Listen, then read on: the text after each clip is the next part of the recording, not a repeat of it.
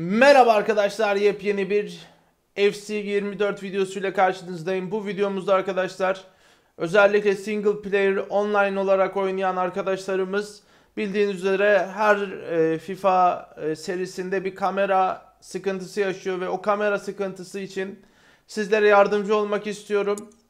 Bir oyuna girelim. Bir maç yalandan bir maç açalım. Size kendi kamera ayarlarımı göstermek istiyorum ve neden bu kamerayla oynadığımı da sizlere anlatacağım. Serinin galibi falan filan Inter Milan hemen geçe geç geç bas bas bas bas. Kamera açısı gerçekten oyun zevki. Ondan sonra görüş açısı anlamında çok büyük önem taşıyor oyunda. Şimdi arkadaşlar ayarlara giriyoruz öncelikle. Oyun ayarları ardından R1 tuşuna basıyoruz. Burada görüyorsunuz tek oyunculu kamera, çok oyunculu kamera şeklinde ee, bir seçim var. Ortak sezon, TL yayını. E, TL'yi şöyle söyleyebilirim. Daha yakından gösteriyor ve dik. Tabi bunu ayarlayabiliyorsunuz aslında ama biz, biz e, eskiden beri ortak sezon oynuyoruz. Neden diye soracak olursanız e, yakın anlamında, yakınlaştırma anlamında, sahayı görme anlamında gerçekten e, büyük faydasını görüyoruz. Yüksekliği ben 10 olarak ayarlıyorum. E, yakınlaştırma 0. Çünkü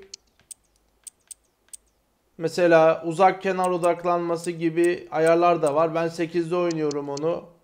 İşte bunları hiç uğraşmıyorum. Yani tek oyunculu ve çok oyunculu kamera ortak sezon ve bu şekilde ayarlıyorum arkadaşlar. Yükseklik 10, yakınlaştırma 0, uzak kenar odaklanması 8, top takip, takibi hızı 0, ceza sahası yakınlaştırma 10. Hemen bir oyuna girip e, kamera açısını size göstermek istiyorum. Evet arkadaşlar gördüğünüz gibi sağımızı solumuzu rahatlıkla gördüğümüz güzel bir kamera olarak öne çıkıyor ortak sezon.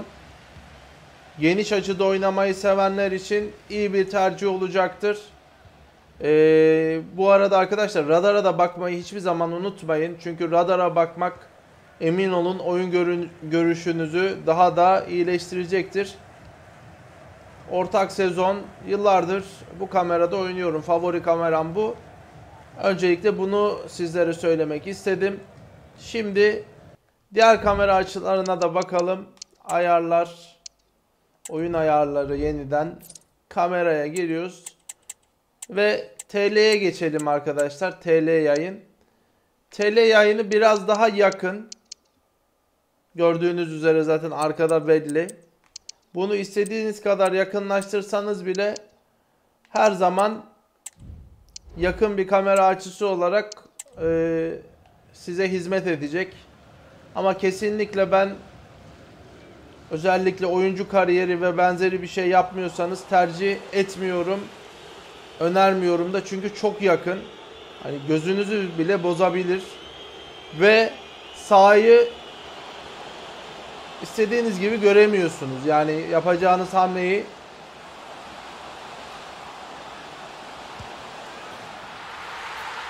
nasıl söyleyeyim yapacağınız hamleyi ee, hesaplayamayabilirsiniz. Çünkü oyuncuları görmek gerçekten çok zor. O yüzden ben TL yayını açıkçası önermiyorum. Hemen başka bir kamera açısına bakalım. TL'ye bakalım. TL yayın ve TL var arkadaşlar.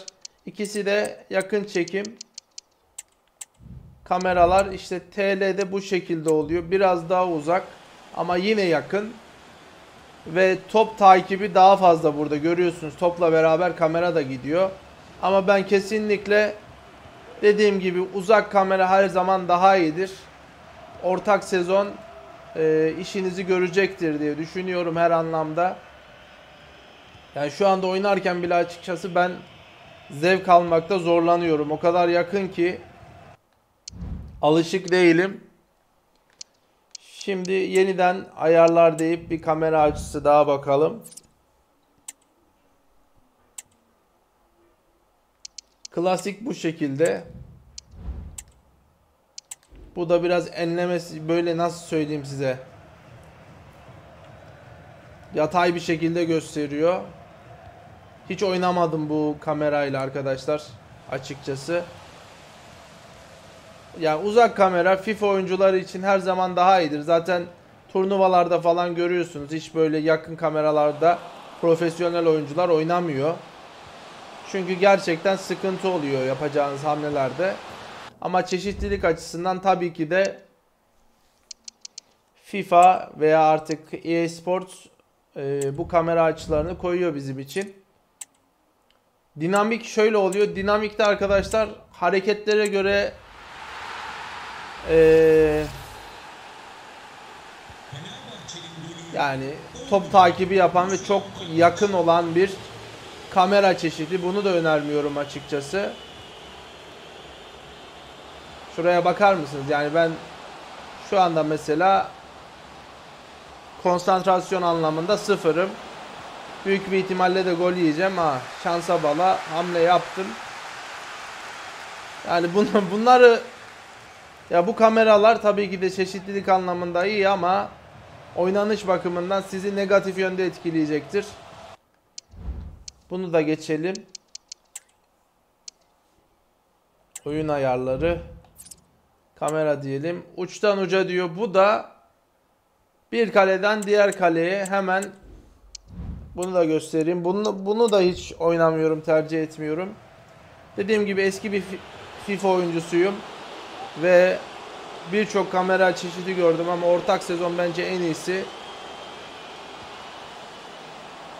Yani bunlar zevk vermiyor açıkçası. Yani bu kamera açısıyla oynamak sizi geliştirmez, sizi geriye götürür diye düşünüyorum ki yani normal şartlarda kornerden çok zor gol yiyorum ama kamera açısı yüzünden e, defansımı yapamadım mesela. Şimdi başka kamera açılarına bakalım hep birlikte.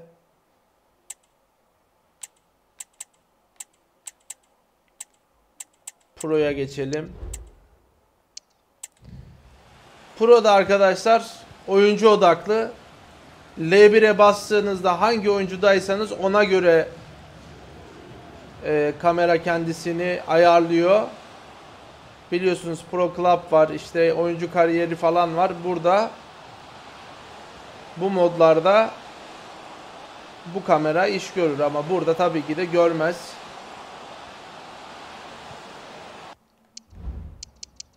Bakalım şimdi ayarlara girelim. Bir sürü de kamera açısı var. Sizin için hepsini deniyorum arkadaşlar. Pro'yu yaptık. Yayına geçelim bakalım. Yayında arkadaşlar televizyon yayını gibi. Biraz yandan çekiyorlar. Bir gol daha yedim. Yine top hızını takip eden bir kamera açısı.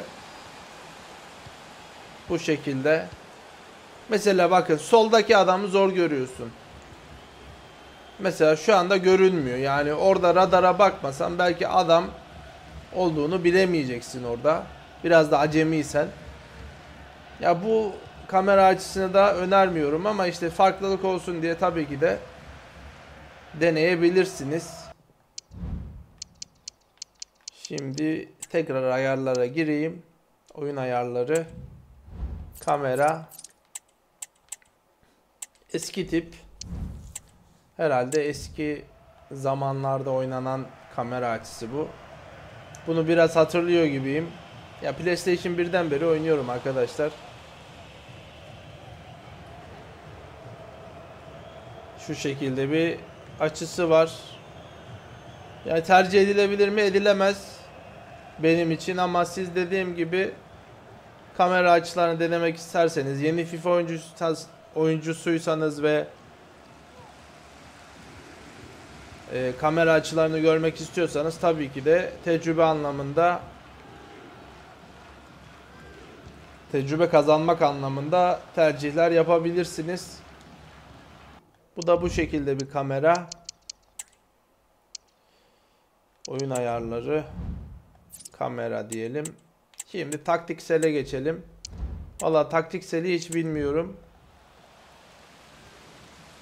Bu da yakın bir kamera. Daha iyi bir kamera ama en azından açı anlamında eee sahayı daha iyi gösteren bir kamera ama dediğim gibi oynanış açısından sizi zora sokar. Böyle goller yersiniz. Çünkü hamle yapacağım yapmanız gereken oyuncunun, futbolcunun, rakip futbolcunun önünü kapatamayabilirsiniz. Onu ayarlamakta zorluk çekebilirsiniz. Şimdi başka bir kameraya bakalım. Oyun ayarları.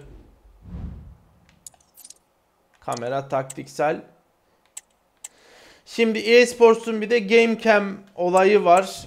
Bunu da ben aslında oynuyorum bu kamerayla ama tabii ki de fazla tercih etmiyorum buna. Bu tabii ki de daha da uzaklaştırılabiliyor kamera ama yani profesyonel bir oyuncunun tercih edebileceği bir kamera yapısı değil açıkçası.